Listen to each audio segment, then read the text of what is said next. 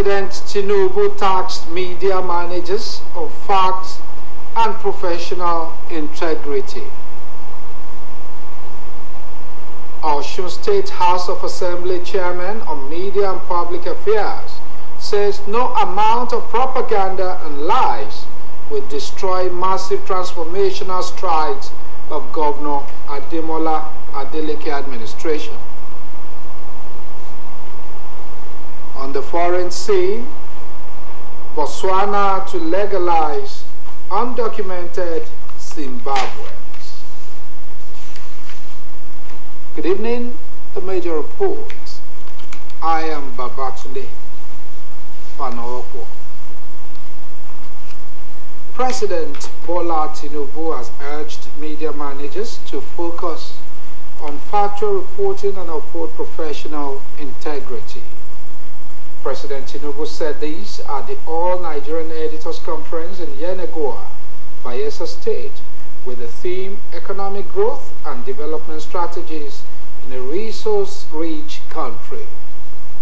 The President, represented by the Minister of Information and National Orientation, Mohammed Idris, who emphasized the importance of the media in national development, said as editors and media managers, their roles in national development cannot be overemphasized. Tinubu also spoke about the transformative potential of the media in shaping public understanding and contributing to the government's effort to address the nation's challenges. He called on media professionals to report truthfully and engage constructively to help the public understand the government's actions. He further stressed that Nigeria's vast resources, both human and natural, could make the country one of the world's most prosperous nations.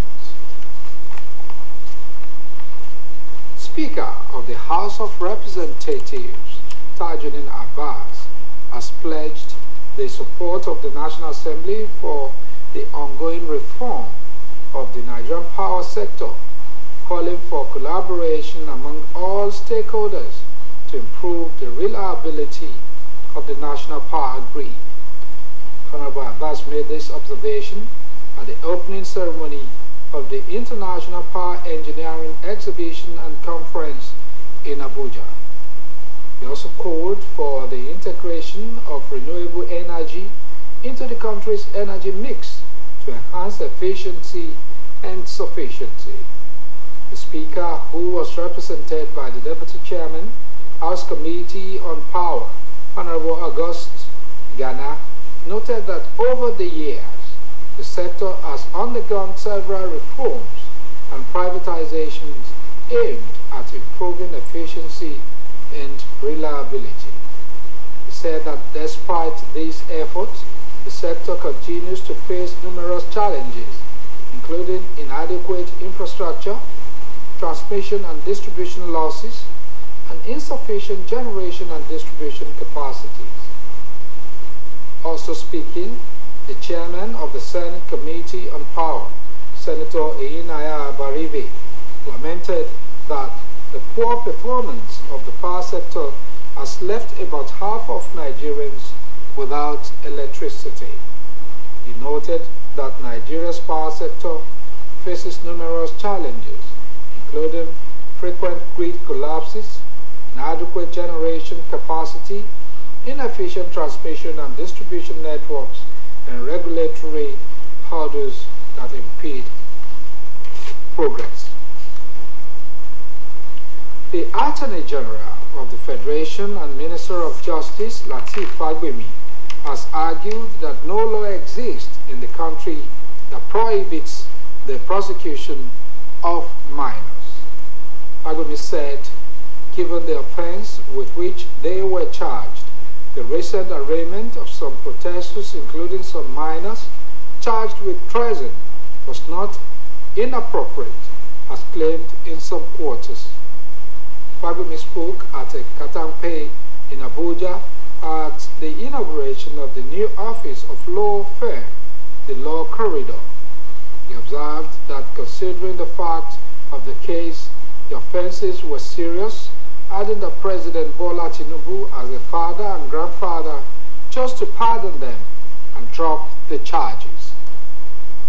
On the Supreme Court's judgment in relation to local government financial autonomy, Fagbemi said the implementation will be a gradual process, assuring that he would not initiate a project he cannot complete. The federal government has urged local government councils across Nigeria to serve as catalysts for opportunities and progress within their communities. Minister of Budget and Economic Planning, Senator Abubakar Atiku Bagudu, made a call during a courtesy visit by the Association of Local Governments of Nigeria at his office in Abuja.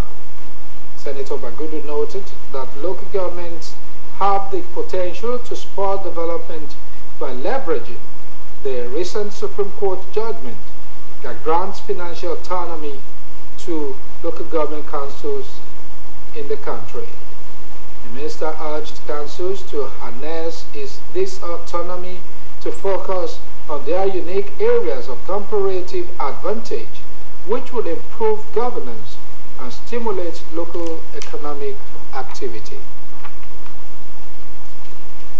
The chairman, House Committee on Media and Public Affairs and the incumbent Deputy Majority Leader, Honorable Adekunle Oladimeji said that no amount propaganda and fabricated stories are capable of painting massive and transformational strides of Governor Ademola Adeleke administration in black. He stated this when he visited four renovated primary health care centers in Ilobu and Ilobu Comprehensive Health Center, which its, rea its rehabilitation will start in no record time. Parliamentary reporter Oluwatosin Oladokun has the details. Technocrats in urban renewal developments converge on Osho, Oshobo, the Osun State capital.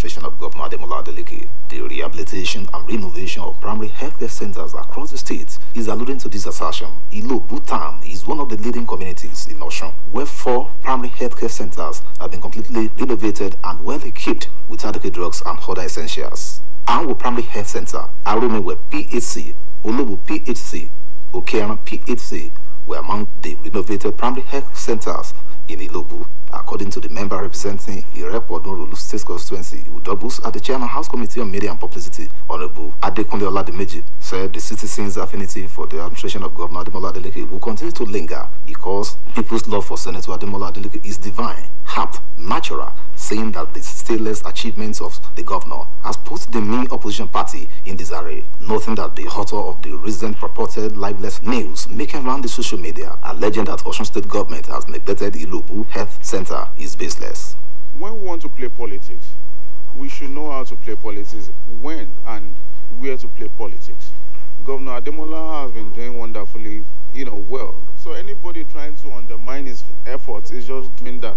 That's baseless accusation because Ilobu has been one of the largest beneficiary of this government because we have uh, four primary care centers reconstructed and renovated right now. He called on rumor peddlers and promoters of fake news to seek clarification in order to be fed with adequate and sound information so that they can have better understanding of how government runs and stop misinforming the public. Honorable Adekunle Oladimeji stated that government will in no record time commence the rehabilitation and renovation of all secondary health centers across the state. And the good news is that Ilobu Comprehensive Health Center has been selected and among the first set of secondary health center to receive lift. A staffer, Mrs. Masurat Abdulaziz, narrated the undis and challenges confronting their operation until Governor Ademola Adeleke renovated the health care center. lórí health facility ọ̀nà adeleke ah wọ́n gbìyànjú gan-an gbogbo ẹ̀ wọ́n bá wa tún ṣe wọ́n renovate everything tẹ́ mọ́ oògùn ní o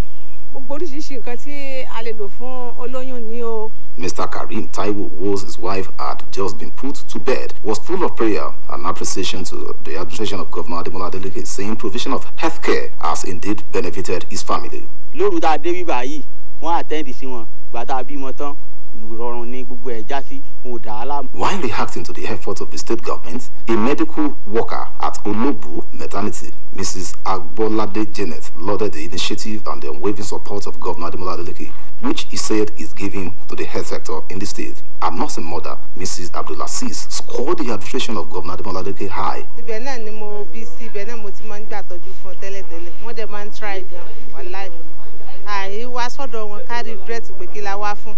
Oluwatosin Oladokun, OSBC News. Osun State has been described as a reservoir of opportunities waiting to be explored by real estate developers. The managing director, director, and chief executive officer of Acquaint's Concept Engineers Adeleke Adekola gave the insight in Osogbo, the Osun State capital, during the second edition of Osun Global Real Estate Conference. Saya Honorary has the details.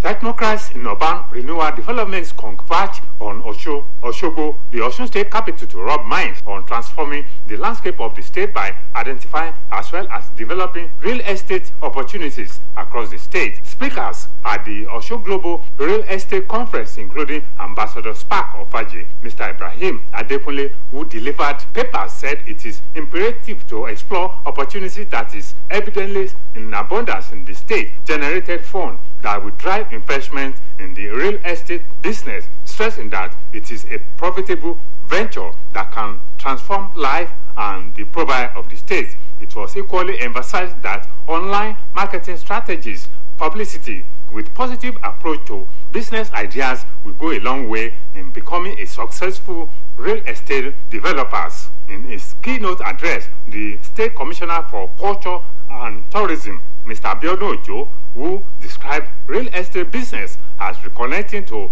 cultural background, implore the real estate developers to do more in investing in the state as well as developing heritage sites which are in abundance across the state. Speaking on the topic, the future of Osun State's urban landscape, challenges and opportunities, the Managing Director and Chief Executive Officer of Acquaint's Concept, Engineer Adekunle Adekola, in explore in-depth challenges and opportunities inherent in the real estate business, adding that strategic planning, creativity, sustaining developments will ensure profitable investment in real estate business. The event features cultural dance as well as unveiling the frame of Osun River Goddess.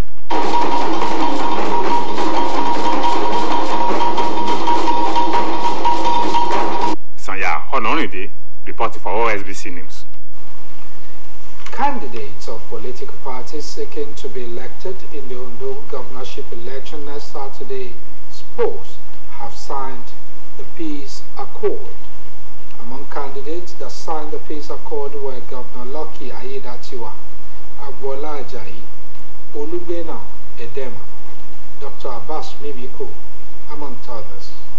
Reports say they signed the peace accord in Akure and was supervised by the National Peace Committee headed by General Abdulsalami Abubakar.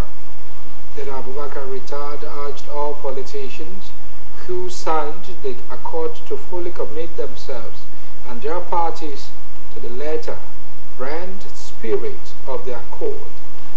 Former head of state urged them to shun violence and intimidation as well as demonstrate the spirit of sportsmanship.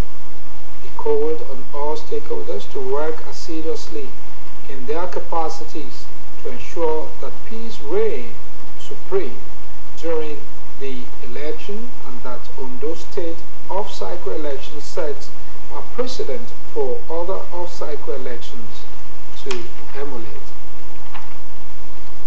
The Inspector General of Police, Egbetokun, has condemned the spate of extortion allegations against some officers of the force in various areas across the country.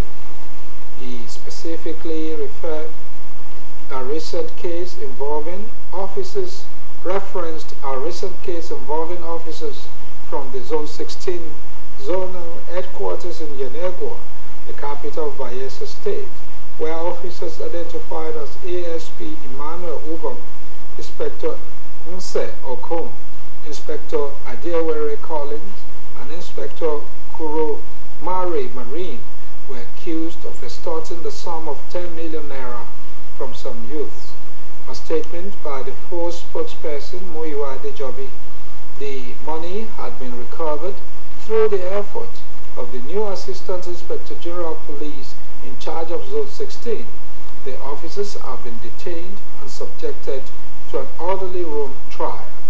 IGP Egbetokun said the force maintained a zero tolerance policy for any act of corruption and police misconduct, adding that it takes every allegation of extortion and abuse of power extremely seriously.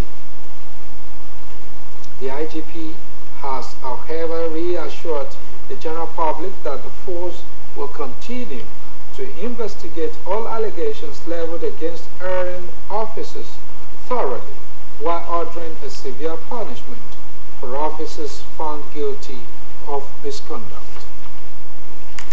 The Federal Road Safety Commission has concluded a series of activities aimed at reducing road accidents during this year's Ember month with a call on travelers to report reckless driving in order to achieve the objective. The Plateau State Sector Commander of the FRSC, Maxwell Plateau, disclosed this during the flag-off ceremony tagged Speak Up Against Dangerous Driving. Crashes kill more than passengers than drivers, emphasized the need for behavioral change among drivers. He stressed that passengers have the right to a safe drive and encouraged them to caution drivers who violate road rules. The sector commander noted that Nigerians must appreciate the selfless services the transport subsector in the country do to ensure the movement of people, goods and services get to their destinations safely. They however said that the FRSC will at this critical moment intensify and provide prompt response to rescue and add more gravity to the enforcement of traffic rules and regulations to ensure safety. You are welcome to our sports segment.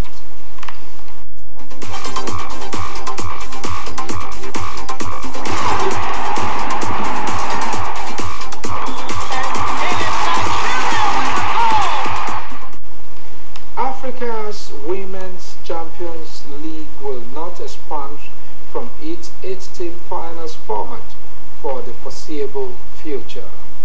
According to our top football official on the continent, who is also the head of the women's game at CAF, Meske Goshime said the main reason why the Confederation of African Football will not increase the number of teams